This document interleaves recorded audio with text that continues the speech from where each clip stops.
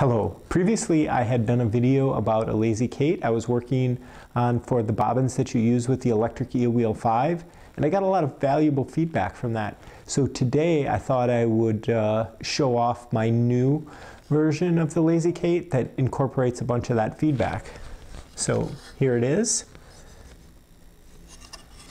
So here it is disassembled and uh, one of the reason, one of the really important things with this Lazy Kate is to make it really portable because that's one of the main advantages of the electric eel wheel. So uh, this breaks down into a very small size and uh, it's really quite simple. Um, it's just uh, sort of six of these screws and then six of these spacers like this that go onto the screws. So it'll probably come um, not assembled and you'll just put together these six pieces.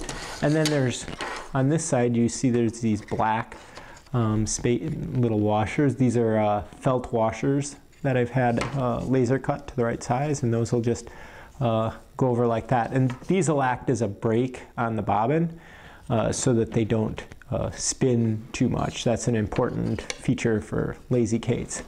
So in order to assemble a Lazy Kate, you just uh, slot the pieces together like this.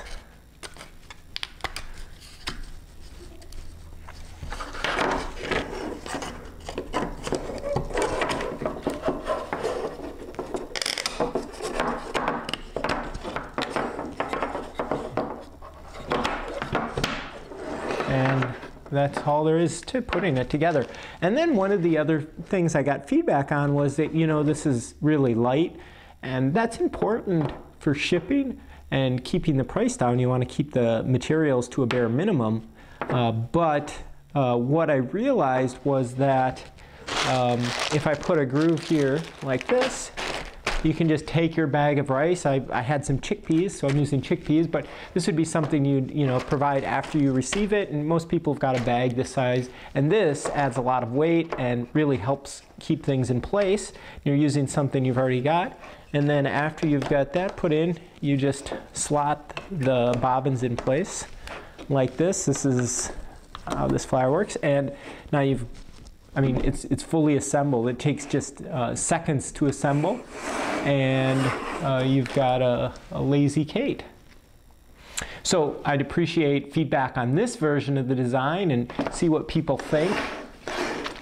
And uh, oh, one other important thing is that uh, I've reworked the system. I, this should I should be able to sell this for uh, under thirty dollars. So uh, that's another big advantage of, of this design, which I've really optimized to keep it economical, just like the uh, electric eel wheel. So, yep. Please let me know what you think.